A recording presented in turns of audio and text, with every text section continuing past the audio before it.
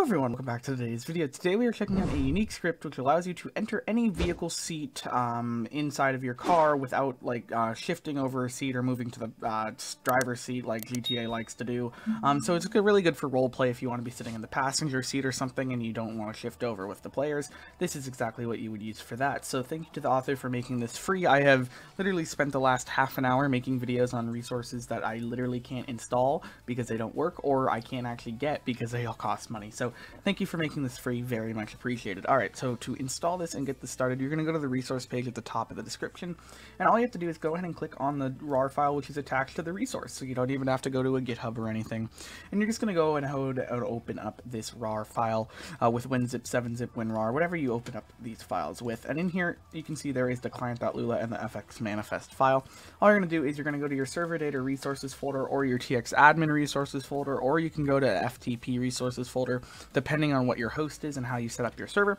Then you're just going to go ahead and drag in the resource folder all the way in. And rather than renaming and like recreating the folder into your own name, you're just going to right click, click rename, and then right click and click copy, and then copy the existing folder name.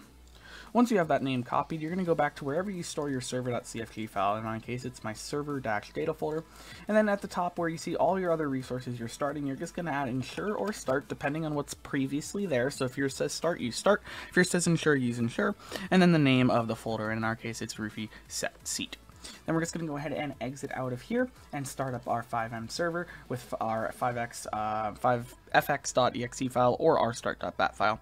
And if we go ahead and check here, you can see it started the resource successfully, so we are good to go and hop in game to check it out. So let's go see how this is. Alright, so now that we are in game here, you can see if I walk up to the door, you'll see that little blue arrow, press F, and then I'll just get into that seat where the blue arrow was. So very, very useful resource just for roleplay type situations. Hopefully it does come in handy for you. Ignore all the cars in the background from my failed attempts earlier, um, because clearly I don't know how to spawn a four-seater car.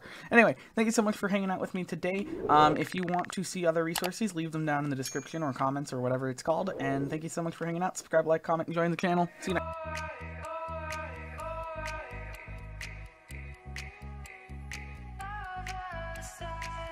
oh, oh.